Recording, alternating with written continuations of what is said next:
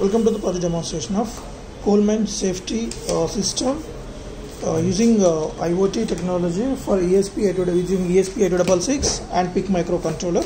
So in this we are going to monitor the three major parameters with two sensors.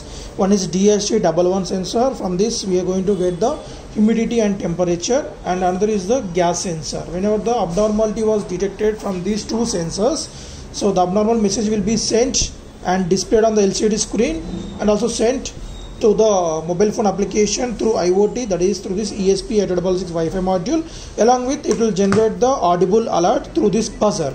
So the whole system driven by this PIC16F73 microcontroller which will take the input from the uh, DHT11 which was interfaced at the C0 pin and A0 pin for this gas sensor and the continuous data displayed on the LCD screen and that was connected the pin number B22, pin number B7 and Wi-Fi module interface at the pin number B0, B1 and C4 for this buzzer to get the audible alerts directly.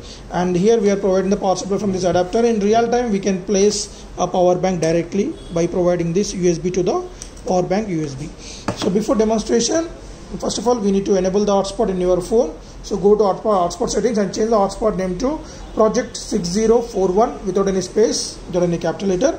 And password should be 12345678 and AP band should be 2.4 gigahertz.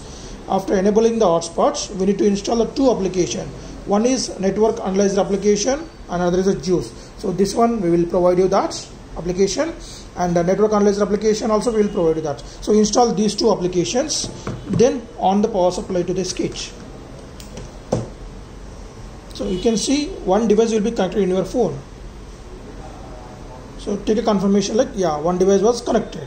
Then uh, go to network analyzer application. So then we need to get the IP address of our kit so then do LAN scan options and do LAN scan and copy this IP address. One is your mobile phone another is our ESP8266 Wi-Fi module. Next go to Juice SSH application so manage connections. Let me show you from starting onwards. Delete.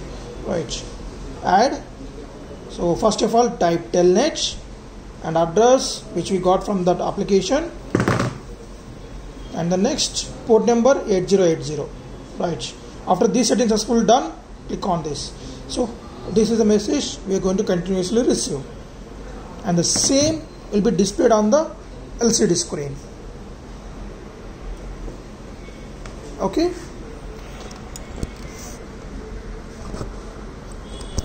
Right now let us provide the input for this sensors. So if I make a gas input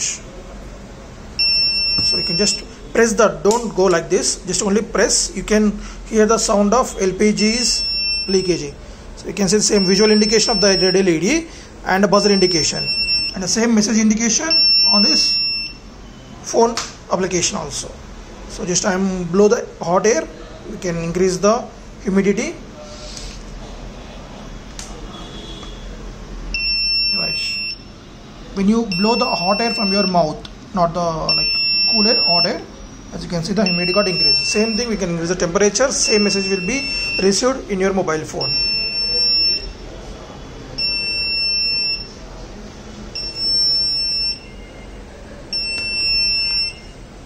much.